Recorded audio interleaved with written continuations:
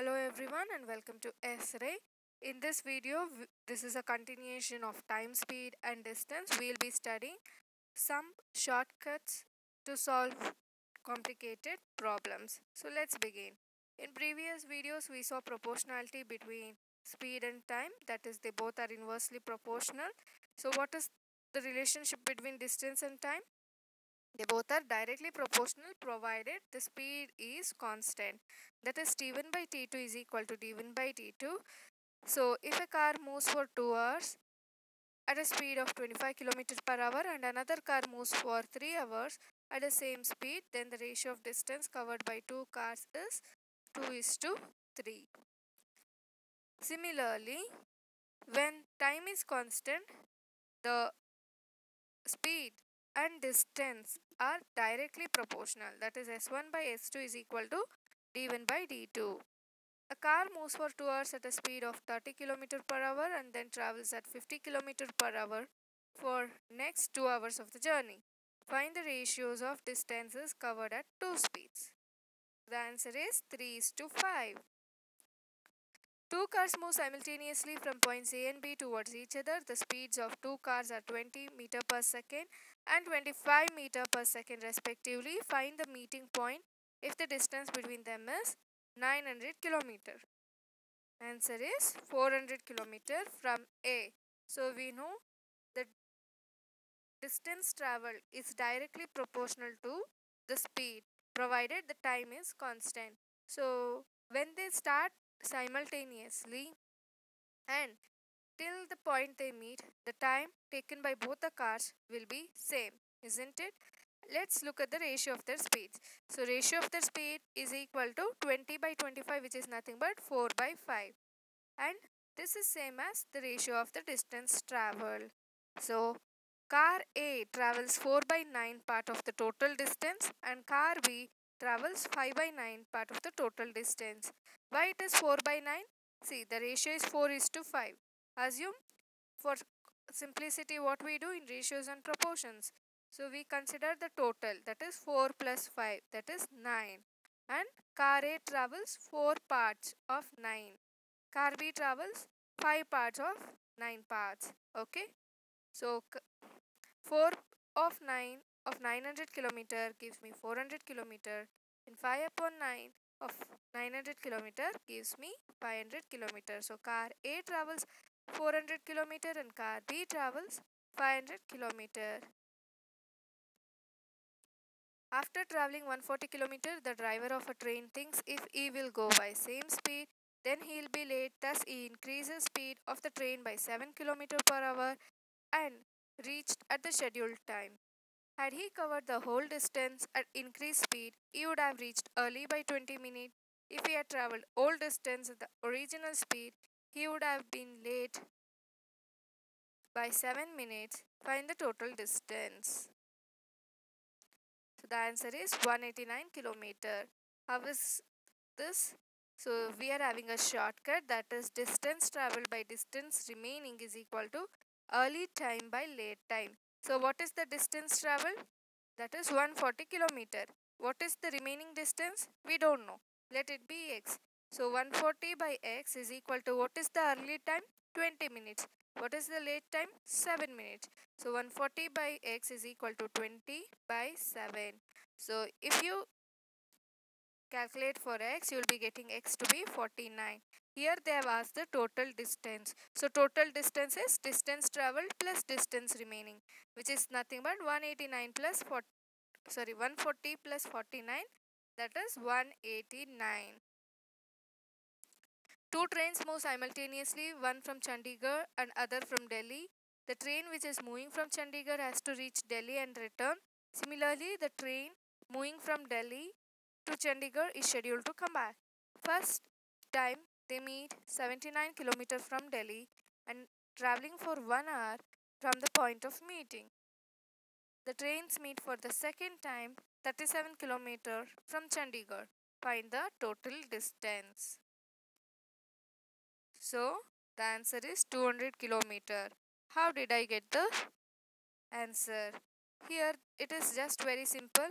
What is the distance uh, that is the difference between the distance of their meeting.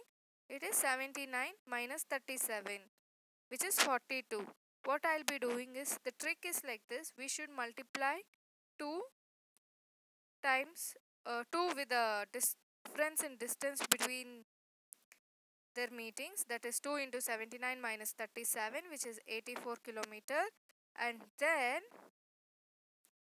you are having 84 kilometer. You should add 79 and 37 to that you will be getting the total distance. So there is also logic behind this. Even behind every shortcut there is a logic. So if i explain the logic to explain one logic itself i'll be taking 10 to 15 minutes. So i have restricted myself to give the shortcut here. So those who are interested can comment in the comment box for the logic so that i can upload it's better if you try out and if you discover the logic by yourself it will be more interesting so i hope you understood this shortcut so let's go to the next question a train X approaches tunnel XY. A cat is located inside the tunnel at 7 by 27 of the distance XY measured from the entrance X. The train whistles and the cat starts running towards the entrance of the tunnel X. The train catches the cat exactly at the entrance. If the cat moves towards the exit Y, the train catches the cat exactly at the exit. Find the ratio of speed of train to cat. So the answer is 27 is to 13. How? Let's look at the solution. So here since uh, cat is located at 7 by 27 it is given. Let's assume the length of the tunnel to be some multiple of 27 meter. So for simplicity we'll take it to be 27 meter only. Okay. So this is the tunnel. This is X. This is where cat is located. And this is Y. Okay. So this is X, this is Y, this is where cat is located. So assume cat is located at A. Okay. Now the, the distance of the cat from the entrance of the tunnel that is X is 7 meter that is given in the question isn't it? And then this is the train. Okay. Uh, the train is at some distance from x that this is that the tunnel so if the train uh, moves till x then the cat will move from a so from this point where the train whistles so this is the point where train whistles right so here cat is at that point cat is at a by the time train reaches the entrance, the cat will move back and it will be exited and train will go in. So the time taken by the cat to travel 7 minute 7 meter is same as the time taken by the train to travel the distance d. Now assume the cat is moving towards the exit. Okay. So when cat is moving towards the exit, what does that mean? So by the time train reaches the entrance, cat will cover 7 meter, right? If cat is moving towards the exit, cat will cover 7 meter in the opposite direction, right? I hope this is clear. So the remaining distance is 13 meter. So train is now, the train has reached the entrance, cat is here, right so the train needs to travel 27 meter the cat needs to travel 13 meter here they have given cat moves towards exit y the train catches the cat exactly at the exit that is exactly at y so the cat travels 13 meter the train travels 27 meter and we know the ratio of distance is equal to ratio of their speeds provided time is constant so the answer is simple. The ratio of their speed is 27 is to 13. Every day Mr. Ghosh reaches railway station at 5 pm. His driver brings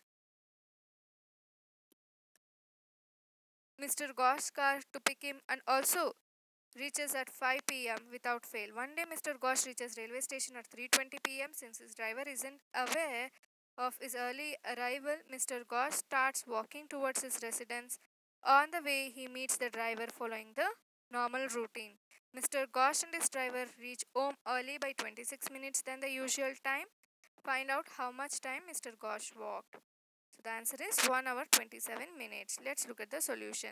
See, this is Mr. Ghosh residence. This is Mr. Ghosh office. Okay. Uh, railway station, sorry, railway station. And uh, they both, uh, one day Mr. Ghosh reached early, that is at 3.20 pm and he started walking towards uh, his residence. So he would have traveled, uh, let P be the meeting point between the driver and Mr. Ghosh. Then what happens? Dra- uh, they both reached uh, early by 26 minutes. That is the time taken from P to S. P to S and S to P is 26 minutes, which means the time taken from P to S is 13 minutes. So 13 minutes is saved, right? So Mr. Ghosh would have reached home.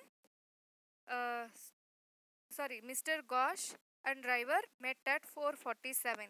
So because 13 minutes is saved. So the time difference between 4:47 and 3:20 is the time for which Mr. Ghosh worked and it is 1 hour 27 minutes. Hope it was easy and these are your practice questions. These are your answers. Thank you. Have a nice day.